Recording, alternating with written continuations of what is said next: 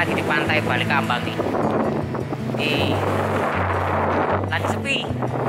Hari ini tanggal 1 Juni uh, di mana uh, tanggal 31 Mei kemarin adalah hari berakhirnya PSBB Palang Raya dan sekarang hari ini udah memasuki masa transisi menuju fase new normal.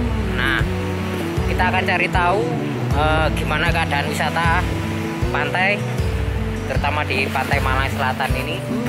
Gimana sih uh, ketika nantinya gambaran kotornya kalau uh, sudah memasuki fase new normal.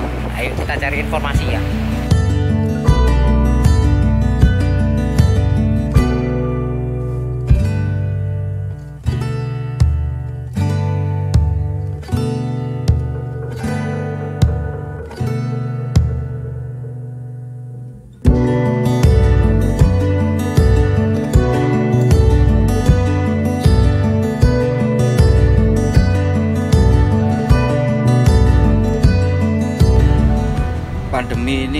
Ini dimulai kemarin itu langsung ada uh, surat edaran dari Bupati dari Dinas Pariwisata untuk melakukan penutupan seluruh pantai.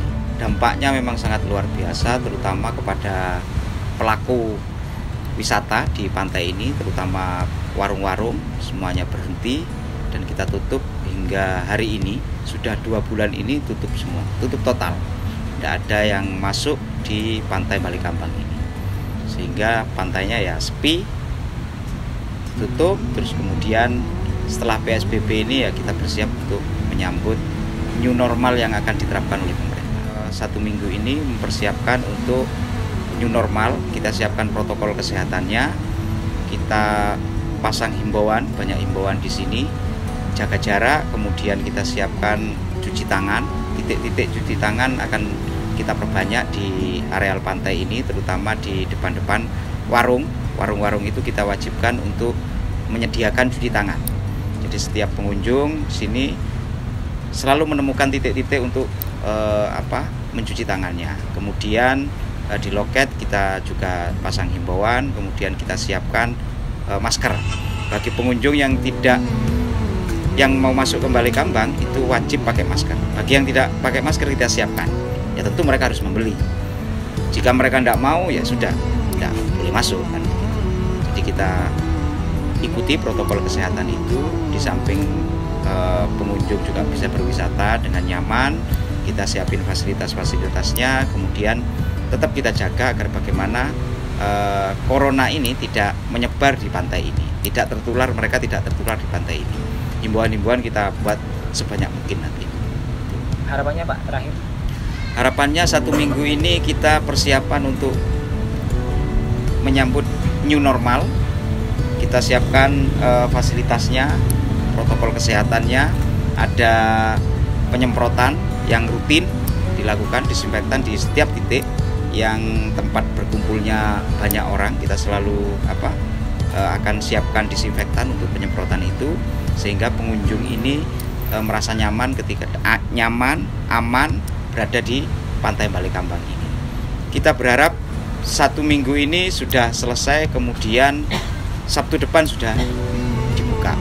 Kita menunggu himbauan dari pemerintah, khususnya dari Dinas Pariwisata, bahwa Sabtu depan ini kita sudah uh, buka seluruh pantai ini dan uh, apa masyarakat yang sudah kangen ingin berwisata di pantai, ingin mantai, ingin jegur laut ya Sabtu depan ini insya Allah sudah Nah, kita tunggu uh, informasi dari pemerintah.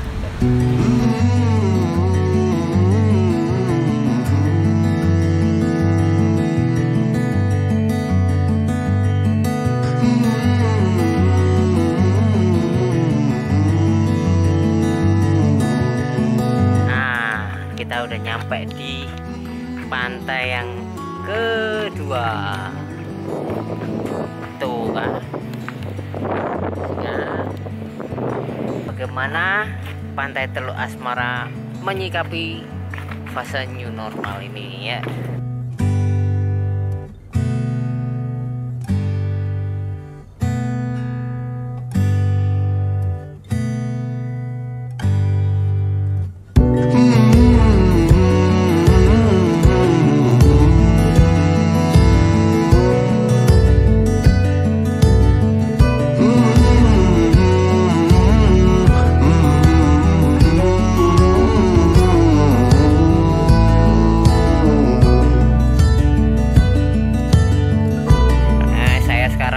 Di depan gerbangnya Pantai Ngudel ya seperti yang kita lihat ini sedang ditutup total. Memang seluruh pantai yang ada di jajaran pantai selatan ini memang ditutup total eh, karena adanya apa pandemi ini dan sering terlihat juga eh, ada masyarakat yang masih berkeliaran di pantai itu karena eh, pantai tersebut masih dipergunakan sama masyarakat lokal atau masyarakat sekitar pantai itu untuk berkegiatan. Jadi bukan bukan untuk berwisata untuk untuk wisatanya memang ditutup total. Yang datang hanya warga lokal sekitar sini. Jadi kita tunggu saja kabar berikutnya kapan dibukanya. Kita cukup berdoa saja. Semoga pandemi ini segera selesai. Ekonomi wisata dari, dari wisata juga dapat pulih kembali. Uh, selesai sudah informasi dari kita. Jangan lupa like, comment, and subscribe YouTube channel Amazing Malang TV. Dadah.